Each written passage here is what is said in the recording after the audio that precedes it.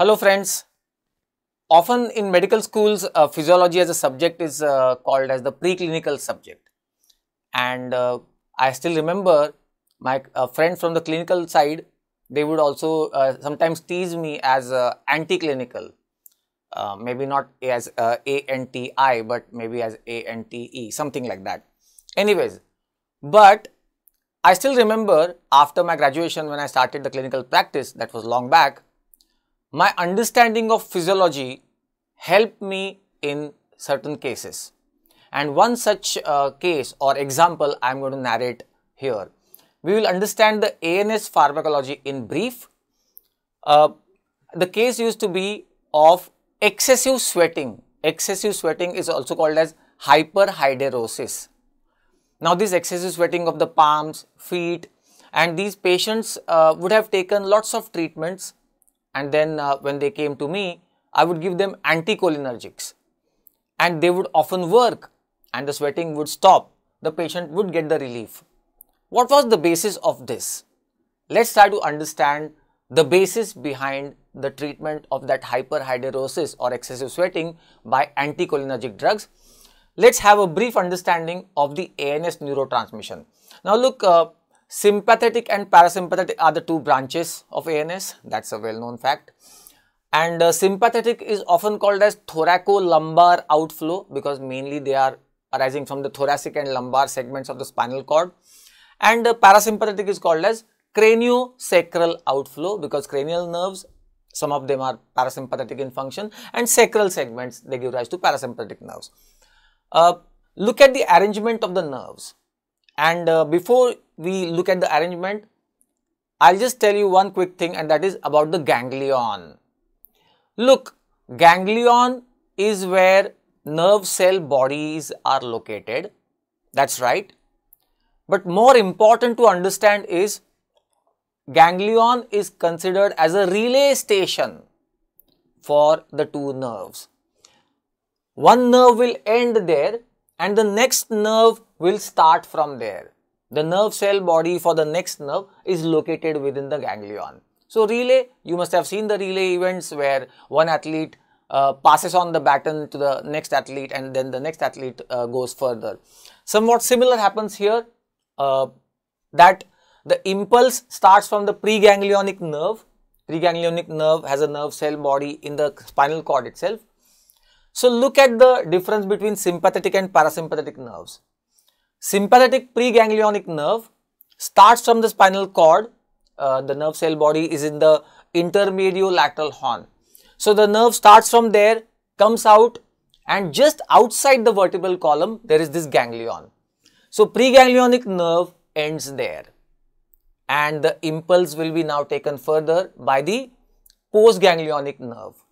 So impulse will be passed on from the preganglionic to postganglionic nerve.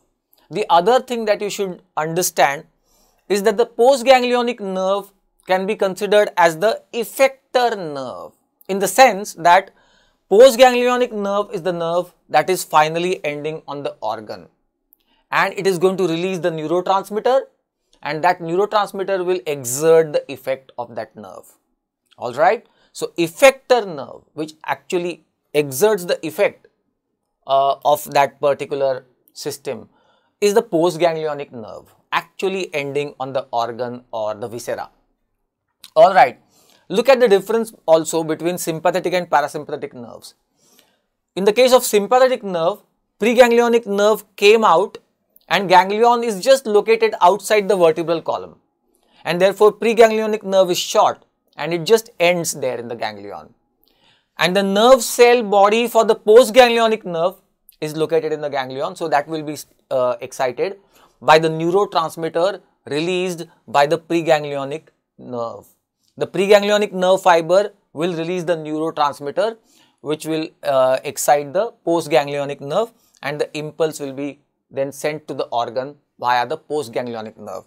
So, sympathetic nerve, preganglionic nerve is short but postganglionic nerve is long. In the case of parasympathetic nerve, it is the other way around.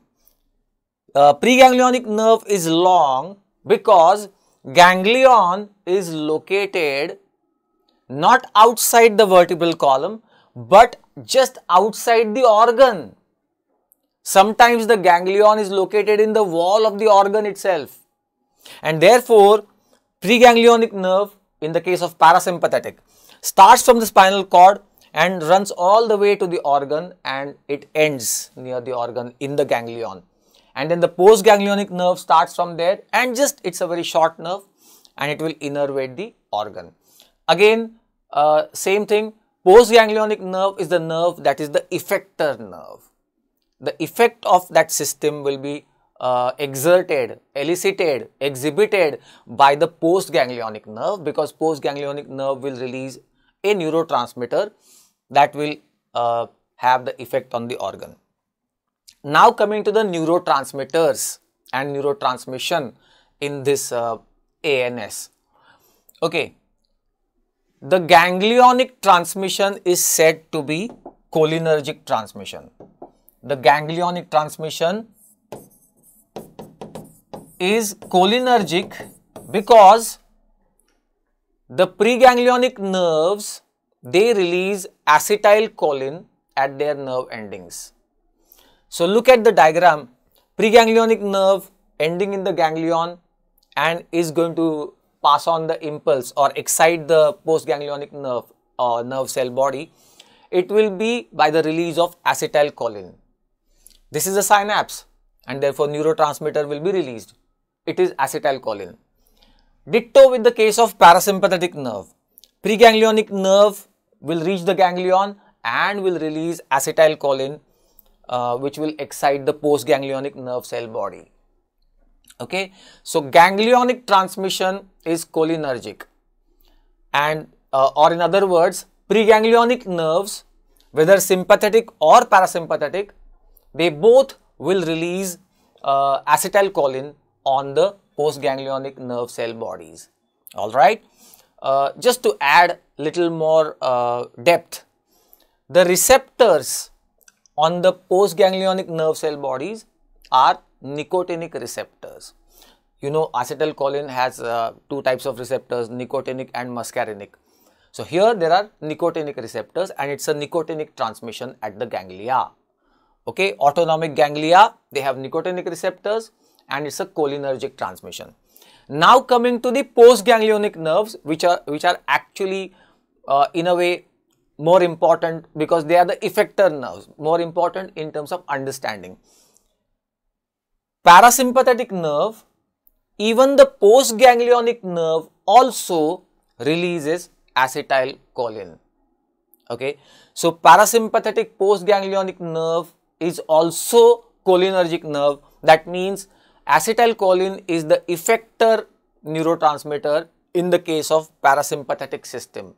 Parasympathetic system releases acetylcholine as its effector neurotransmitter on the organs. Okay, effect of parasympathetic system is exerted by the acetylcholine. In the case of sympathetic system, postganglionic sympathetic nerve is adrenergic nerve adrenergic nerve would mean that its neurotransmitter is not adrenaline actually. It is noradrenaline. Because uh, you know uh, the catecholamines are synthesized in the same uh, pathway same synthetic pathway. Uh, last step the conversion of noradrenaline to adrenaline requires an enzyme which is not which is not much present in these nerve endings. And therefore uh, adrenaline does not form, it is the noradrenaline. However, the nerve is still called adrenergic nerve, okay. We do not call it noradrenergic nerve.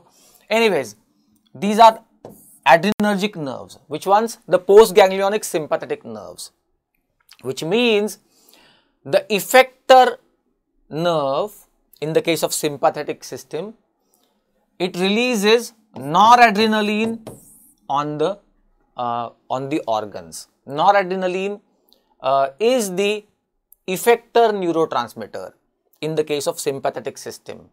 The effects of sympathetic stimulation or uh, effect of sympathetic uh, nerves, those effects are elicited by noradrenaline because that is the final, final transmitter which is being released at the nerve endings on the organs. Alright, so finally, just in a quick summary, sympathetic system exerts its effect via the noradrenaline as the neurotransmitter. Parasympathetic system exerts its effect via acetylcholine released on the organs and viscera. But uh, the relay of impulse transmission occurring at the ganglia, whether it is sympathetic or parasympathetic, that relay occurs because of the acetylcholine. Okay. This was the ANS pharmacology. Now leaves us, uh, now that leaves us to the last point there are some sympathetic nerves which do not release noradrenaline and those sympathetic nerves are called as sympathetic cholinergic nerves.